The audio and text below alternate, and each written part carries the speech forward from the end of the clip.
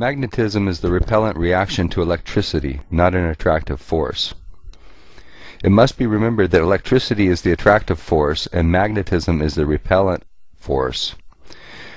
The attractive force attracts only the attractive force, which is itself. Electricity does not attract the repellent force. Neither does electricity repel the repellent force. On the other hand, magnetism, which is the repellent force, does nothing but perform its function of repelling. It does not attract itself. A repellent force cannot be an attractive force, nor can an attractive force be a repellent force. The energy of magnetism is the elastic energy of expansion, a straining energy ever pushing towards the inertial line of equalized pressure which lies between any two masses, while the energy of electricity is ever pulling towards the pulsing heart, the gravitational nucleus of every mass. Magnetism is the brake upon the wheels of electricity, resisting its generation of higher potential and registering that resistance as heat. Electricity is the accelerator which speeds magnetic radiation, the expansion of which is registered in cold. Electricity and magnetism are actually opposing forces which leap away from each other in exactly the opposite directions. Forces which depart one from the other do not attract each other opposing forces oppose each other.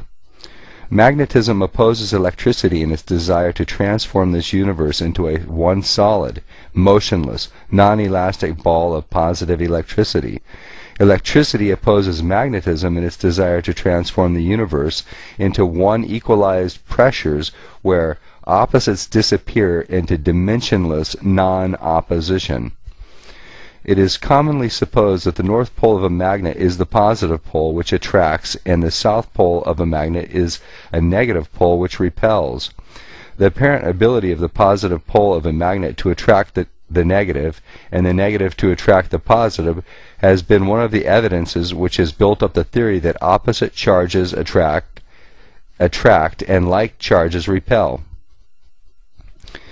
The evidence that like charges repel is as convincing as the moon keeps pace with moving man, or that the earth is flat. It is evidence one can really see, like other illusions of motion. The truth is the north is the apex of a cone into which a supernormal electric stream is flowing, due to electrical excitation. The reason that the south pole of the bar of iron appears to attract the north pole of the compass needle is that the electric stream is flowing through both the iron and the needle in the same direction from south to north.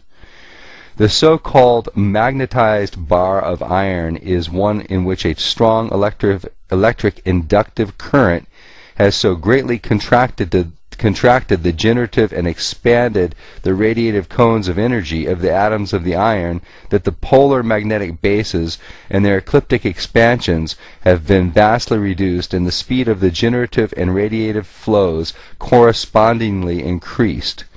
Atoms of iron not so treated leap towards these faster moving streams. The term magnetized was given to iron so treated because iron exposed to the magnetic field of a generative coil always causes this effect.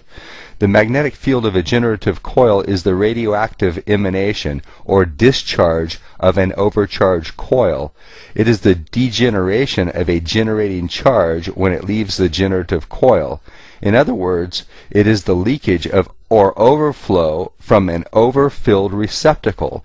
Not so, however, when it impacts against the iron. The iron bar becomes electrified, not magnetized. The bar of iron and the so-called magnetic poles of a revolving rotating mass such as this planet are two different effects. Every mass such as a planet is supposed to be a magnet. It is, but not like the magnetized bar of iron or the compass needle. It is a double magnet. Its two charging poles meet head-on at the gravitative center of the planet, and the oppositely flowing electric streams meet there. In any mass, when these two streams meet, they oppose and spread against each other's force in the direction of the ecliptic plane area of the mass. It is commonly supposed that the magnetic pole of this planet is analogous to a bar magnet, being one continuous bar extending from the negative Antarctic south to the positive Arctic north. The north attractive positive pole of the planet appears to attract the north attractive positive pole of the compass, and the south repellent negative pole of the planet appears to attract the north attractive positive pole of the compass. The explanation lies in the fact that the one north direction of attraction in the bar of iron and the compass is continuous, while the two north directions of the attraction in the planet are opposed. They meet at the center of the earth at the apices of two opposing cones. The magnetic bases of the cones are respectively in the Arctic and Antarctic regions. As mass generates, the magnetic bases disappear through the poles and reappear at the, at the equator. It has previously been explained that the north of any mass is its gravitative center.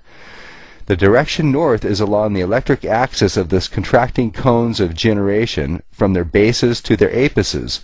North is always in the direction of general activity, high pressure, and high potential.